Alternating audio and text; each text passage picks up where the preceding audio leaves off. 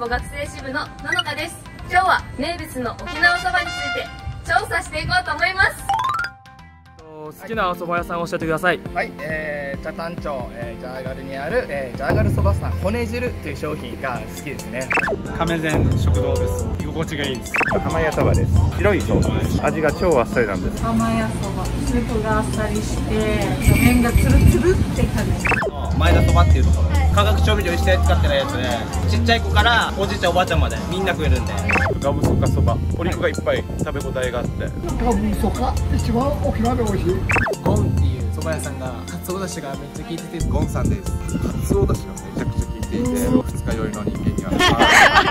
いいドワーティー麺の種類も豊富でイカスミの練り込んだそばとかシグフ麺が他のところにしっかり。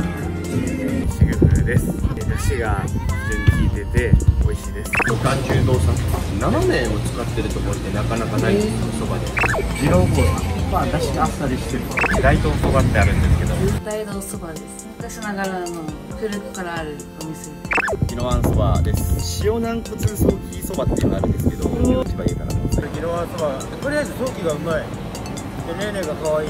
大城そばです。レタスが乗ってるのが好きです。片身そば。石豆腐が乗ってるのが好き。です与那原そばです。味がある麺なんですアガリア？ちょっとピリ辛のつけそば？結構好きですね。エイブンさんです。まあ創作そばで沖縄そばの混ぜそばがあったりするんですけど沖縄そばに食べ慣れた人は次こういうのがすごく美味しいかなと思います。ぜひ。みたい。ありがとうございます。ありがとうございます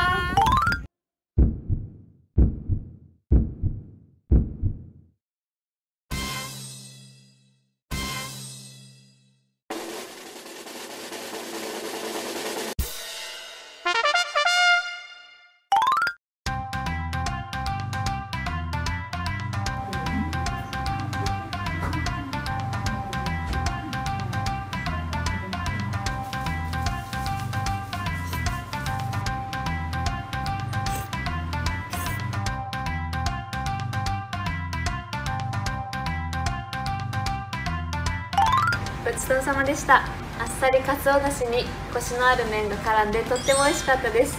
お肉は軟骨炙りソーキ柔らかソーキ鶏胸炙りの3種類のお肉がいっぺんに食べれる贅沢そばとなっていました。ぜひ皆さんも来てみてください。この動画がいいなと思ったらグッドボタンとチャンネル登録お願いします。